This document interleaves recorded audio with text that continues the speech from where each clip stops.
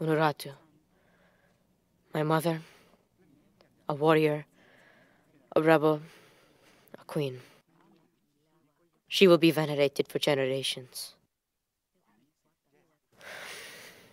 I miss you.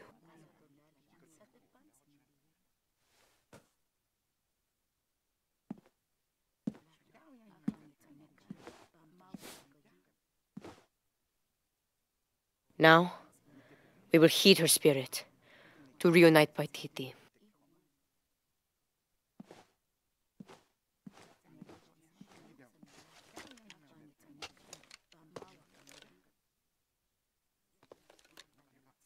Thank you.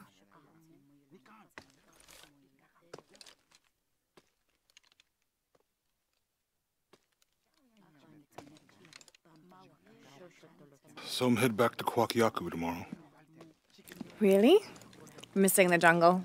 Off in search of the elusive fish tree? Abby and I are headed to the coast for a few days. I'm glad. What about you? I think I'll stay here for a while longer. And uh, restore a few more artifacts? Don't know. So what will you do? I don't know. Etzli will help me figure it out. He'll let me know what Paititi needs to rebuild. Wow. I'm done searching. I want to be around the living. All right. Don't you have to pack or something? Now you are stuck with me till tomorrow. You're welcome to stay as long as you wish, Lara. Safe travels, Jonah.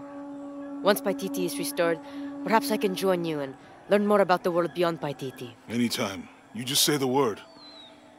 You too, Uchu? if he wants to. So, Jonah, Lara tells me you have a girlfriend.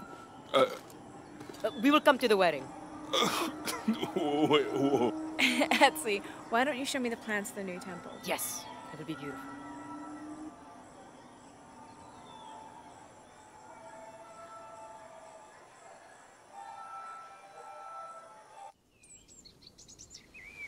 I had it all wrong. I thought that taking control of my life meant venturing out to do something extraordinary. I thought I had to fix everything. But the mysteries of the world are to cherish more than to solve. I'm just one of their many protectors.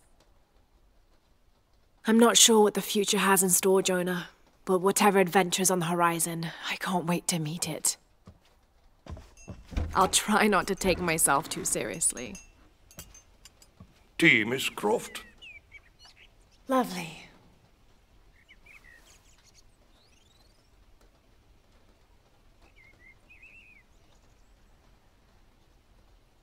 For now, it just feels good to be home.